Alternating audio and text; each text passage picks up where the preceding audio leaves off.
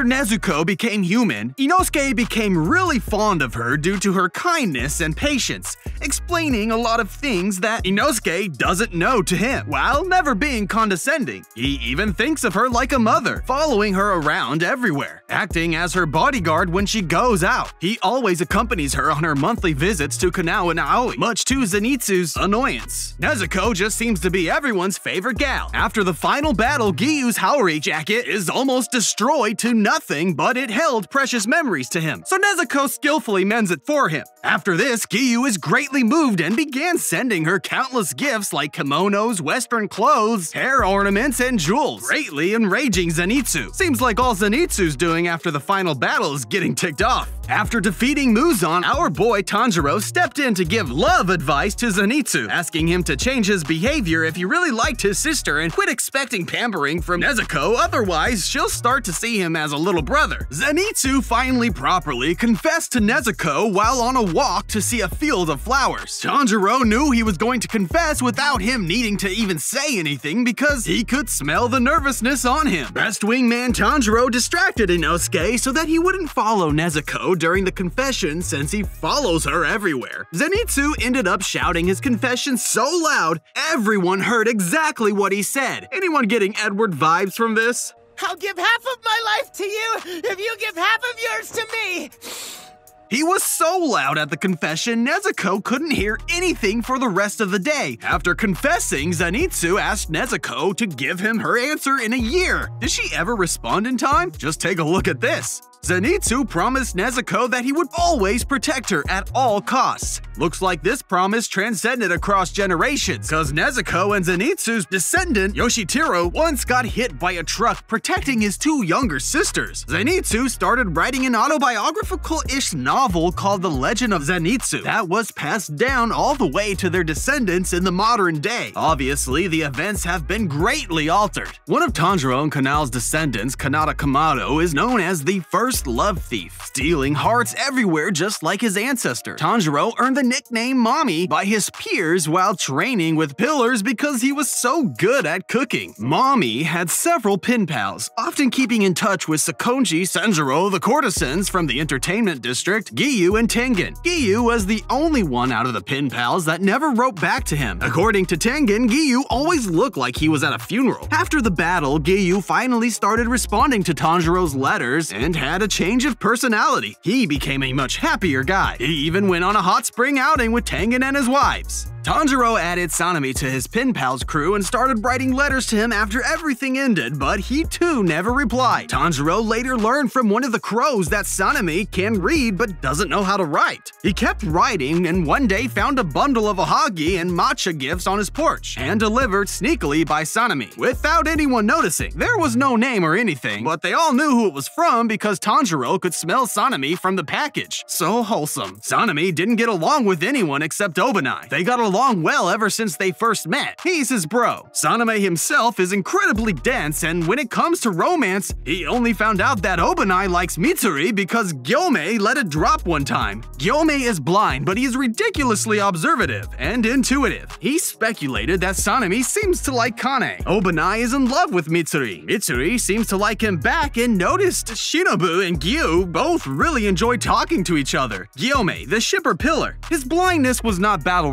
it was due to a high fever he had as a child. People found it unsettling how sharp Gyomei's senses were. Some mean people would throw things at him or try to trip him, but he would always be able to dodge, leading to people accusing him that he's lying about his sight. Before she was turned into a demon, Nezuko wore her hair pinned up. Afterward, she started wearing it loose. Nezuko chose this look because she was no longer able to deal with her hair and Tanjiro didn't have the skill to do it for her. But we see Tanjiro trying really hard and learning how to do her hair properly in this scene braiding her hair like Mitsuri in the Swordsmith village arc. Suma, one of Tengen's three wives, is bisexual according to the fanbook. She was reportedly quite excited for Tengen to take on additional wives. Makio, one of Tengen's wives, is apparently a relative of Tengen. A distant cousin actually. Uh, no comment. Tengen thought Shinobu and Mitsuri both had good childbearing hips. According to Mitsuri, Tengen may have actually had 8th grade syndrome as he speaks and behaves like a 10 year old child at times. He's the fastest running pillar out of the nine. Apparently, Obanai is ranked 7th and could have been faster if only he gave up on his serpentine running and ran straight. Mitsuri thought about confessing to Obanai, but she was under the impression that Obanai is kind to everyone, when in reality, he's only nice to her. She even consulted Shinobu for love advice, but Shinobu is also a bit clueless in this area, often going on about brain responses, heart rates, and blood pressure when discussing love. Whenever Mitsuri and Obanai have a meal together, he himself doesn't eat, but he always enjoys quietly watching Mitsuri happily chewing down her food with a smile on his face. Our snake man is also Shakespeare because he often wrote her letters and complimented her a lot. Mitsuri and Obanai reincarnated as husband and wife in modern day. They are owners of a tasty diner and have five kids. Muichiro thought Obanai has beautiful eyes and that Mitsuri has beautiful hair. I guess I just found the couple's biggest fan. Muichiro wasn't allowed pets because his crow gets jealous. Tanjiro's crow name is Tennoji Matsuemon. While other crows were given names, his named himself. He never holds his crow in his palm.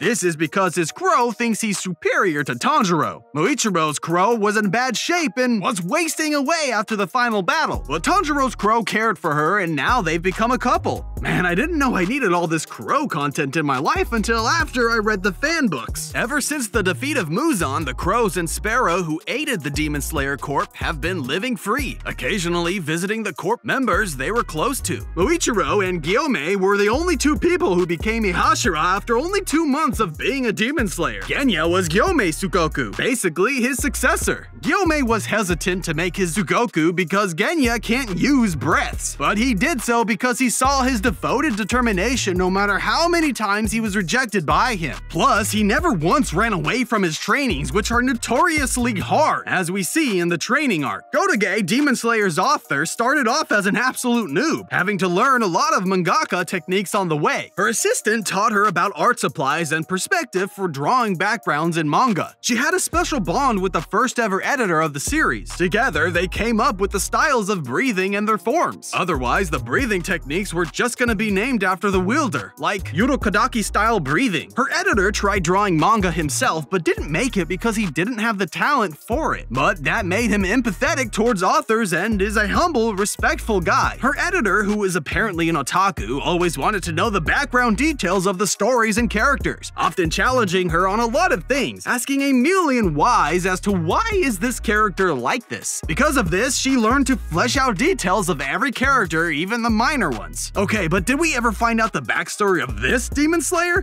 No. After the first 10 chapters, they had to change editors, much to Gotouge's dismay. Before the change, they decided the future events of the series together. They outlined the chapters for the remaining volumes and settled on the number of characters. Her editor even sent her a guide to stick to with pointers of things to follow and making sure everything gets covered in time. The series went on for four years. Gotouge anticipated 15 volumes to complete the series. The editor forecasted at least 20. Demon Slayer ended at 23 volumes so her editor was spot on. Apparently, staring at this image for more than 3 seconds would make you want to subscribe to this channel. If you guys remember the X Thunder Hashira, the grandpa is tiny. His kimono is a token to remember his master by for Zenitsu. So in order to enlarge it, Nezuko resewed it to match his other kimonos and altered it by redying the material. Yushiro made one promise with Tamayo, that if they are reincarnated in their next life, they will be man and wife. Tamayo actually smiled and nodded to this. Yushiro has a Tamayo-themed diary, a diary dedicated entirely to taking notes about her greatness. Muzan had a lot of disguises, pretending to be human. Whenever Muzan wanted to go out, he would leave behind a doll-like double made of his own flesh. After Muzan was transformed into a demon during the Heian period, he married five different women. He was so cruel that all five of them took their own lives because of his mistreatment. Muzan and Kaguya are related to each other. Kaguya says that his bloodline was cursed because of a demon that came from it. This demon was the original demon, which would mean the first of its kind. Fans know that Muzan is the first demon ever, so it makes sense that Muzan comes from the Ubuyashiki bloodline. Girls born into the Ubuyashiki clan must be married and change their surnames by age 13, otherwise they would die in accidents or illness, no matter how careful they are. Kiriya took the lead as the Demon Slayer corpse leader defeating Muzan at the age of 8. What were you guys doing when you were 8?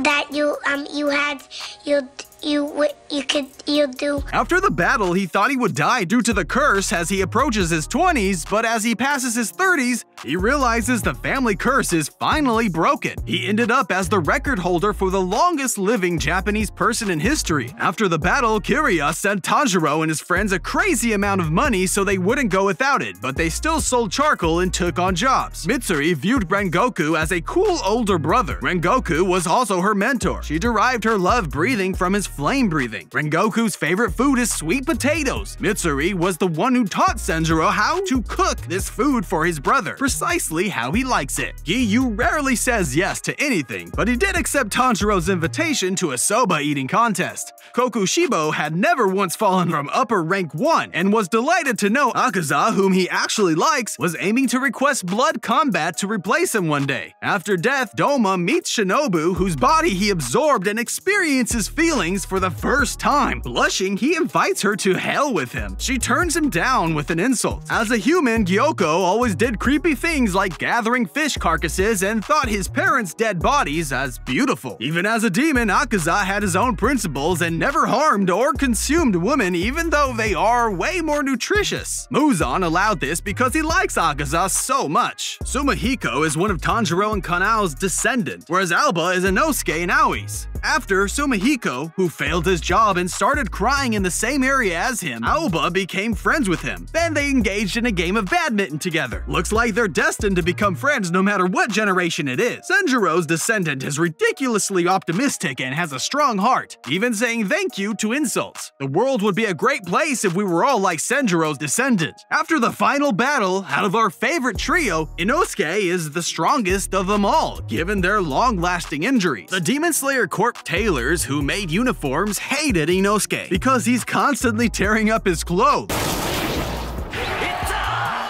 I mean, do we ever see him in his uniform? Aoi rarely smiles because she's serious and responsible, but Inosuke often made her laugh because he was always doing unexpected things. Aoi used the breath of water. She passed and took the same final selection exam as Muichiro. Muichiro views each pillar as an animal. He thinks that Shinobu looks like a swallow bird, Tengen's like a monkey, Obanai is like a wild cat, Gyomei is like a bear, Sanemi is like a wolf, Mitsuri is like a pink-colored baby chick that goes cheep cheep. And Goku is like an owl. Is it because of his eyes? Rude. Giyu is viewed as a decorative object. He's just sort of there. Rengoku had a hard time hearing Giyu cause his voice was too small, or his own voice is just too loud. Especially cause we know when Rengoku first became a Hashira, he had to face the flute demon. To defend himself against the flute demon's blood demon art, he intentionally ruptured his own eardrums. Muichiro wears oversized clothes to disorient enemies, to hinder their ability to predict his movements. Tengen had to fight his remaining six siblings due to his father's command. They wore masks so that they wouldn't know they were fighting their own sibling. As a result, he killed two of his siblings unknowingly. The hardest to talk to pillar is Sanemi, the wind pillar, at first place due to his violent personality. Surprisingly, the big friendly giant Gyomei is ranked third because the way he looks shedding tears while reciting the Nembutsu scared people. The blue spider lily may not even bloom once a year. In the rare occasion that it does, it only does so during daytime and never more than a few dozen minutes at a time. After closing, it no longer looks like a blue spider lily and instead will look like a horsetail, making it even more difficult to distinguish and find. Kanao would have been called Komatsu or Barracuda if it weren't for Aoi. She was picking names written on shuffled pieces of paper on the ground. Aoi wasn't into that name, so she sneakily replaced the paper with one that said Kanao. One of the quotes that's heavily associated with Tanjiro is whenever happiness is destroyed, there is always the scent of blood. His trauma runs deep. The fanbook shares that this isn't just about what happened to his mother and siblings. Tanjiro is also the person who found his father as he was coughing up blood and about to pass. He also found his grandmother as she was passing away. Once, when he was in the village, he smelled blood and discovered that a villager was dying. This allowed him to tell their family, which gave them the chance to say goodbye.